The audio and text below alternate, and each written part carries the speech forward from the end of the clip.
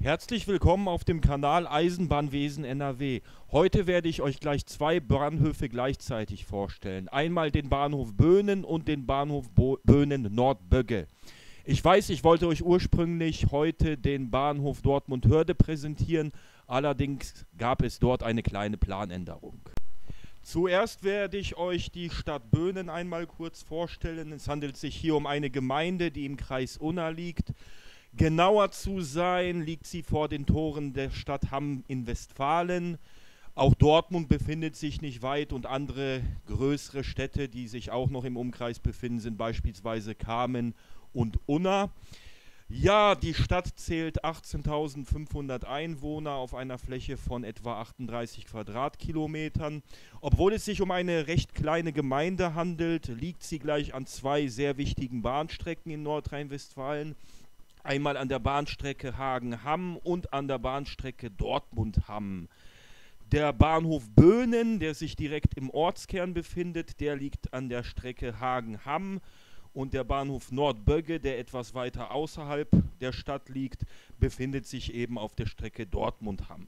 Die beiden Bahnhöfe liegen in etwa zwei Kilometer Luftlinie auseinander. Die heutige Reise begann zuerst am Haltepunkt Böhnen-Nordbögge.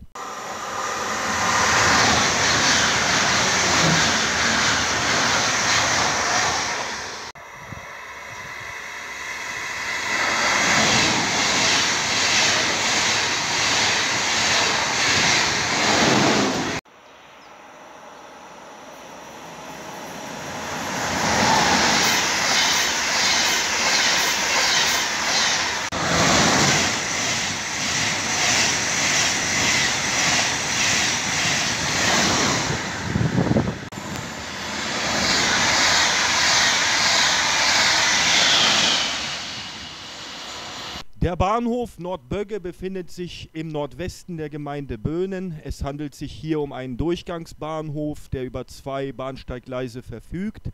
Steigt man in Richtung Dortmund ein, ist der nächste Halt Kamen. Fährt man in Richtung Hamm, ist der nächste Halt Hamm Hauptbahnhof. Auch dieser Bahnhof wurde im Rahmen des Rhein-Ruhr-Expressnetz im Jahre 2019 modernisiert. Das heißt, die Bahnsteige wurden verlängert, erhöht und äh, der Bahnhof ist natürlich sehr, sehr gut ausgestattet. Er verfügt über Wartehäuschen, Sitzgelegenheiten. Es gibt einen Automaten, wo man ein Ticket kaufen kann. Um sich zwischen den Bahnsteigen zu bewegen, kann man eine Fußgängerbrücke benutzen. Diese ist auch die einzigste Möglichkeit, sicher von der einen Seite auf die andere zu gelangen. An diesem Bahnhof halten die Regionalexpresslinien RE1 und RE3. Sie verkehren jeweils im Stundentakt. Der RE1 fährt von Hamm nach Aachen und wieder zurück. Der RE3 ist von Hamm nach Düsseldorf und wieder zurück unterwegs. Der RE1 wird von der Gesellschaft Rhein-Ruhr-Express betrieben.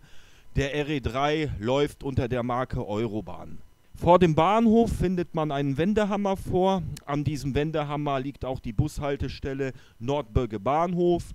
Diese Haltestelle wird von den Linien 191, 194 und 195 angefahren.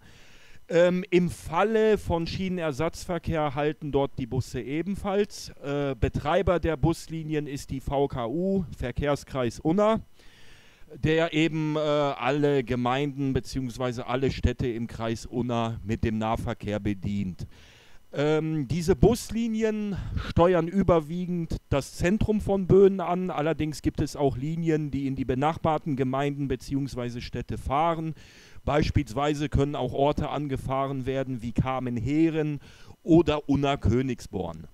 Ansonsten befindet sich ähm, in direkter Nähe zur Bushaltestelle eine große Park-and-Ride-Anlage das heißt, auch dort hat man die Möglichkeit, sein Auto abzustellen, in den Zug zu steigen, um die letzte Etappe zu nehmen. Ansonsten gibt es auch Häuschen, wo man sehr gut ein Fahrrad abstellen kann. Ähm, es gibt auch natürlich Vorrichtungen, wo man sein Fahrrad anschließen kann, absichern kann. Das Besondere, ähm, neben den ähm, Ständern fürs Fahrrad befindet sich auch so eine kleine Station, wo man beispielsweise seine Reifen aufpumpen kann oder kleinere Defekte am Fahrrad äh, sich beheben lassen. Ansonsten kann man den Bahnhof für Spotter definitiv weiterempfehlen. Man hat dort sehr, sehr viele und schnelle Durchfahrten, seien es Intercity Express, Intercity oder Regionalexpresse. Güterverkehr ähm, fährt natürlich auch diesen Bahnhof, durch diesen Bahnhof durch. Ähm, gut an diesem Bahnhof ist auch, dass man in beide Fahrtrichtungen sehr, sehr weit gucken kann. Das heißt, äh, man kann schon vom Weiten sehen, ob sich ein Zug nähert oder nicht. Und in beide Fahrtrichtungen hat man auch Signalanlagen, die man beobachten kann, ob diese nun auf grün gesprungen sind oder nicht.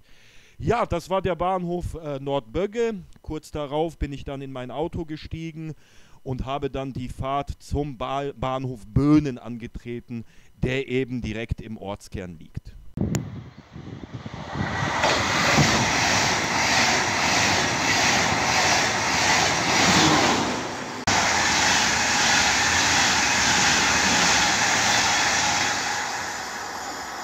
Der Bahnhof Böhnen, ja, der liegt wie gesagt direkt im Kern der Gemeinde, also im Zentrum der Gemeinde. Nicht weit von ihm befindet sich auch eine kleine Fußgängerzone, die für eine Gemeinde dieser Größe sehr gut ausgebaut ist. Man kann dort äh, seine Freizeit verbringen, indem man was essen geht, was trinken geht. Und natürlich gibt es dort auch äh, Einkaufsmöglichkeiten. Dieser Bahnhof weist durchaus Besonderheiten auf. Wie Sie auf den Bildern erkennen können, ist direkt vor dem Bahnhof ein Bahnübergang anzutreffen.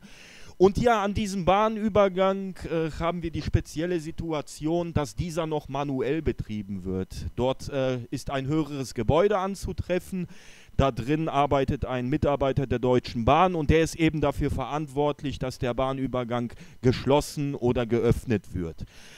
Dieser Bahnübergang sorgt unter den Einwohnern häufig für Ärger, beziehungsweise wird dieser kritisiert, weil es ähm, häufig zu sehr, sehr langen Wartezeiten kommt. Dieser Übergang wird geschlossen, lange bevor der Zug kommt, also mehrere Minuten manchmal, bevor der Zug überhaupt eintrifft.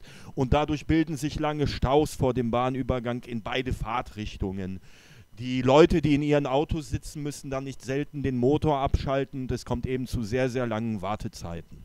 Bahnübergänge dieser Art sind natürlich in Deutschland immer seltener anzutreffen. Die meisten Bahnübergänge sind heutzutage automatisiert. Aber in Böen hat man eben tatsächlich noch die Besonderheit, dass dort jemand vor Ort sitzt und eben äh, die Sache unter Kontrolle hat. Kommt der Zug, schließt er den Bahnübergang, ist der Zug durchgefahren, macht er ihn wieder auf. Für einen Gemeindebahnhof ist dieser Haltepunkt sehr, sehr großzügig ausgebaut. Es gibt einen sehr, sehr großen Parkplatz, der als Park-and-Ride-Anlage fungiert.